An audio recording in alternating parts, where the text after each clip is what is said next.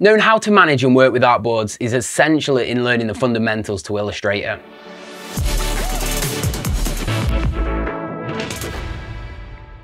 What's up designers, welcome back to Digifrog Designs. If you're new here, I'm Matt Roberts, brand identity designer in Illustrator.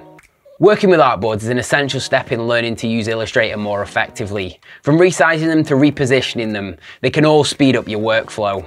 So today we're going to be taking a look at how to manage and work with artboards in Illustrator. Before we get started, don't forget to smash that subscribe button. We post new videos every Wednesday helping you become a better designer. Let's jump into Illustrator and take a look at artboards.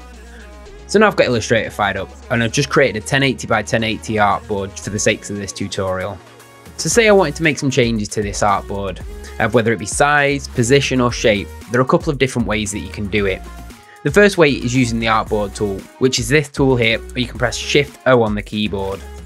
If I click on that, you'll see the bounding box for the artboard appear, and you can just simply drag on the anchor points of the bounding box to resize to suit. And you'll also notice you get this little pop-up showing the size of the artboard, so if you need it a specific size, you can get that bang on using that.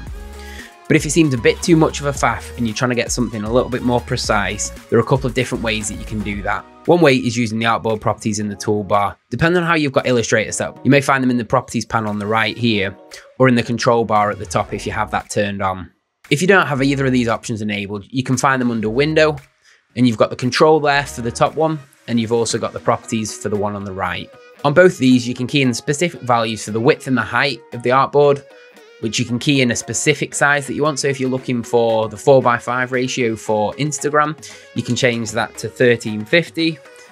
And there we have the artboard ready for our 4x5 post for Instagram. And also we can change the position of our artboard here using the X and the Y values.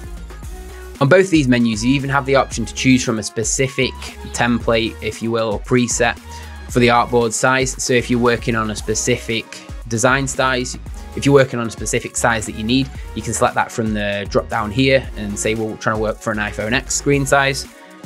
It will create a canvas at the right size for that application. If that wasn't enough, you can also double click on the artboard tool like you can most tools in Illustrator to access the artboard options. You can also access this through the properties panel on the right using this button here.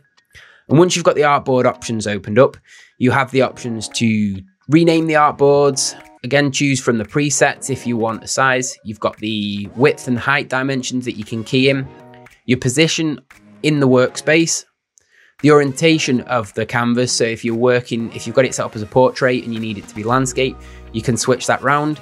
You have the option to constrain the proportions of the artboard as you're resizing.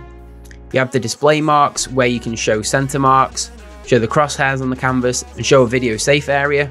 And you have this option for fade region outside of artboard, and I'll show you what that does in a moment. So I'm just gonna hit on an OK on there. And as you see, it's just brought up all those guides that we've just enabled through the artboard options. So the fade region is when you are resizing and you'll see the faded area around the artboard that's showing you the size of the new artboard. So the faded region just allows you to see it as you're resizing the artboard. So now we know how to work with one artboard. Say you need multiple artboards to work on a logo package or Instagram carousel or something like that. If you need them the same size, you can easily duplicate an existing artboard by selecting the artboard tool. And then if you hold Alt or Option and drag on that artboard, you can quickly duplicate an existing artboard. So if you're working on a carousel and we want to position them right next to one another and you've got smart guides and Snapset, you should be able to drag the artboard into place and let it snap when it touches or when it meets the other artboard. You can also make a new artboard by using the new artboard button in the control bar up here, or also the one on the right here as well.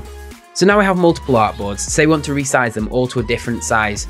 So you could go through them manually and resize them all individually, but you can also select each artboard if you hold shift as you're going through them and select each one any dimension changes you make to the width and the height up here, so let's put 1920, that's resize the artboards there. But as you can see, they're all overlapping. That's something that we can fix relatively easily. So what we can do is we can come up to rearrange all in the menu up here. From here, we can choose the layout we want the artboards to follow, the columns that we want the artboards in, and the space in between them. So say I wanted to create a zero pixel spacing between the artboards and I want them to go in a left to right fashion and in a column of four. I set all that in there. And then what I do is I hit on OK. And now we see that each of the artboards that I created before has been positioned perfectly next to one another. This is really handy if you're working on a project and it's got a little out of hand with the position of the artboards. But it's also worth mentioning, it reorders them based on the artboard number. So if you created them out of sync, they will remain out of sync. But you can resolve this by heading to the artboard menu, which to access, come up to window, select artboards. What this will do is it'll bring up a list of all of the artboards in your document. And what you can do is you can rearrange the artboards to the order that you need them to be to suit how you want them to flow. Um, obviously, it's handy if you rename them so you know which artboard is which. But once you know which is which and the order that they need to go in, you can quickly and easily just drag them into the correct order. And then we can just use the rearrange artboards once again. And that will then reorder the artboards to the correct artboard number to spec what's specified in here. So there we have it. That's a quick look at how to use and manage artboards in your Illustrator workflow. Hopefully this has helped. If you've got any questions, post them in the comments box below. Thanks for watching designers. If you like this video, smash that subscribe button, give it a like, and also don't forget to ring that notification bell so you get notified every time we post a new video. Share this video with your friends on social. It really helps reach more people, educate them on building better brands and showing them what actually goes into designing them. And shop the merch to support the channel and show you part of the DFD crew. I'll catch you next week, designers.